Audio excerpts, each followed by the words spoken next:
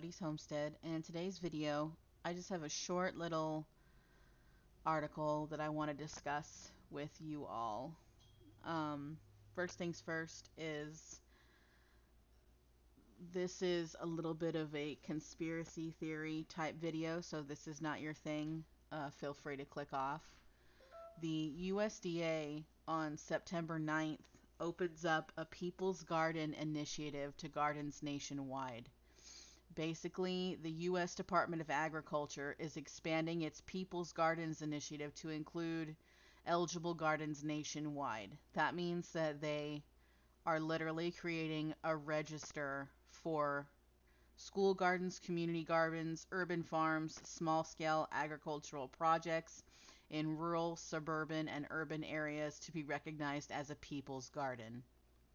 Um, they're saying that if you sign up, you will get benefits and affiliate and all kinds of good communication. And um, they make it sound very welcoming. And honestly, to me, it's just another register they're literally asking people to sign up to say, yeah, I grow food and raise animals on my property. So they're going to know who's doing what and where. It's a way for them to source food and um, for them to know what it is you have on your property. And I just don't like the idea at all.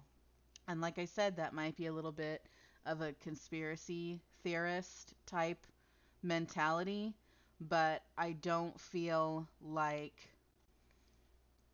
the government needs to know what we're doing on our property, how much food we're providing, what animals we're raising, how much food we have stored. And I know some people are going to say, well, you're on YouTube. They know already. And yes, in my case, I, I do put myself out there. I am on YouTube. I show my pantry and my animals in my garden. But I'm not on a register. They would have to come find my YouTube channel and come out to my property.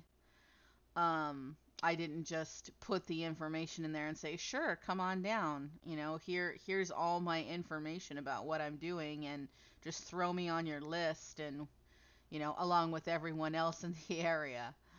So, I just wanted to bring this to your attention because I feel like um, this is just another way for them to lump people into a group and to try to figure out what you're doing on your property. And some people might look at this and go, oh, this is really cool. What a great idea. It's a great way to come together and communicate and, you know, blah, blah, blah. But honestly, there's ways to do that without getting on a government register. Just, just go to your local farmer's market. Talk to your farmers. Talk to people in your area um, and just you know be a community without the government being involved. You know, um, this has all the information on how to register, and they say, oh, it's a big benefit for the community by providing food. A, a collaborative effort. Um, you know, and while this stuff seems important for your community because 100% it is, like I said, why do we have to register on a USDA government website in order to make this happen? Why can't we just get out in the community and do it? Why do they need to put their hands in it? You feel me?